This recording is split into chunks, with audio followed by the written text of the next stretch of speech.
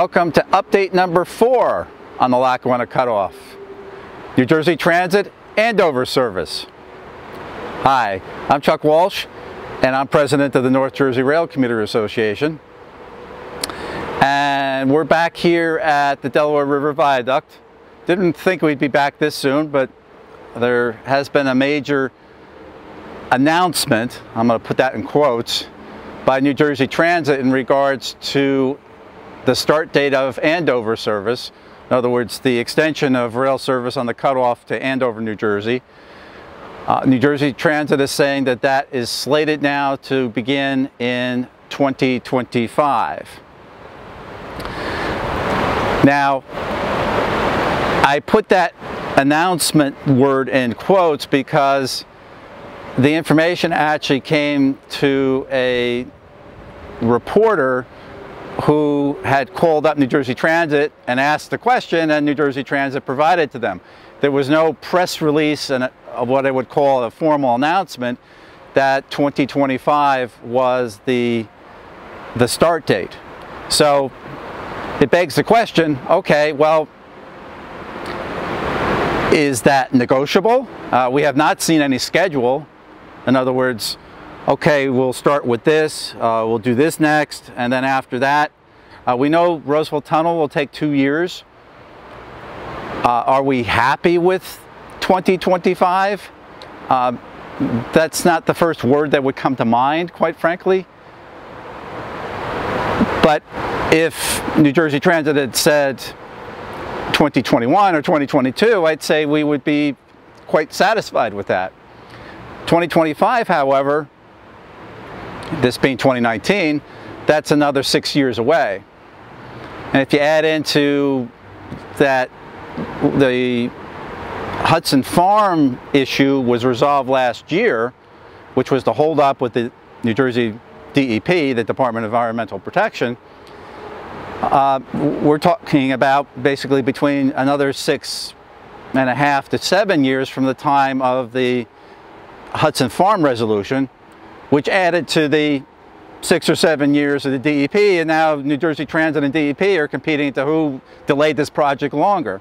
Um, I, I, don't know how else to characterize this. You know, in, in terms of looking at this project, it's difficult to rationalize why it's going to take so long. Once again, if the New Jersey Transit came back and said, oh, we, we, we think we can do it faster, we can do it in 2022, okay, I, I, given that, once again, Roosevelt Tunnel is a two-year project, uh, there are things with the Indiana BAT which uh, restrict you to clearing. Okay, would give you that. That's another three years. Uh, that's not so bad. Uh, but now six years, uh, and we don't even know when in 2025 at this point. Is it January 2nd or is it December 31st? So I'd say that we are at this point, there's still more information to come. And that's where you, the audience, comes in. Our, our listenership, our viewership, uh, the people who are on our Facebook page, and the people who uh, are on the YouTube channel, or share this video, which I encourage you to do, certainly. Uh, I have a little bit of homework assignment for you, and we're going to show you the contact information for three people that we'd like you to contact. Doesn't have to be anything elaborate, it can be short and sweet, but I'm going to ask three things of you, and I'll, I'll tell you the three people who I want you to contact. Um, but the three things I'm going to want you to do is, if you contact, let's say by email or letter, however you want to do it, or you call, uh, you be concise. Uh, you can express your frustration or your your anger or uh, any, any of those feelings. But I want you to be diplomatic and I'm asking that you no cuss words. Those are the, those are the conditions I want you to, to adhere to. Now the three people I want you to contact, you don't have to contact all three, although you could. You can pick or choose. Uh, they will be State Senator, New Jersey State Senator Stephen Oroho, Congressman Josh Gottheimer. Now they both cover the Andover, their, their districts cover Andover. And thirdly, I'll, I'll give you the contact information for the head of New Jersey Transit, the executive director, Kevin Corbett. Once again, you don't have to say a whole lot, uh, but once again, be diplomatic. Uh, this, you now become, in a sense, the face of this effort. This is where you can chime in, you can have influence. I'm not going to tell you what to say. I might suggest maybe you want to bring up that this is uh, 2025 is a long time. Why can't you do it sooner? That kind of thing. Uh, but in terms of anything else, I would want it to be in your own words. We don't want to have a bunch of, let's say, emails or letters or however, what form it takes, that are saying exactly the same thing.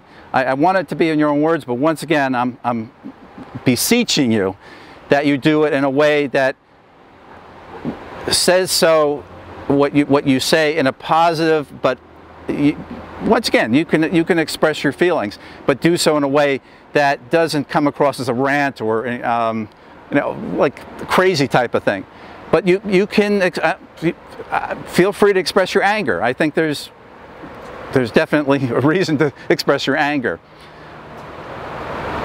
and so we have it so there we are this is there we are right now I thought it was important that I communicate this to the, the people who watch these videos. Uh, I don't have any further answers at this point. We will try to keep you up to date on any developments that take place. Uh, is, is 2025 a done deal? Could it be moved up? Well, we'll see. Uh, we'll see about that. If it can be done, we'll do it. But it, it it's going to take more than just Chuck Walsh doing videos to do that. It's going to mean that you folks are going to, to need to contribute in that sense. And once again, don't spend a lot of time doing this. So uh, stay tuned to as we would do our normal credits, but we're first going to give you, and we'll give you plenty of time, we'll give you screen time for the contact information for those three gentlemen. And look forward that you will hopefully have some influence on, on this particular issue. So, thank you for tuning in. Uh, certainly look forward to seeing you on our next update or part 21, which is in progress also. We're working on that. Uh, so, until then, um, stay tuned on the Lackawanna Cutoff.